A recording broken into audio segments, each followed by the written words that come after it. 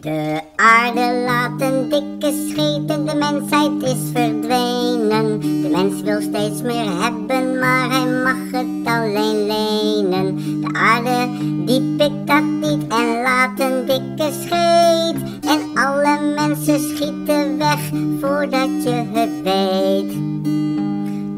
Natuur is oppermachtig en als er iets niet klopt, dan poept de aarde het wel uit zodat het gelijk stopt.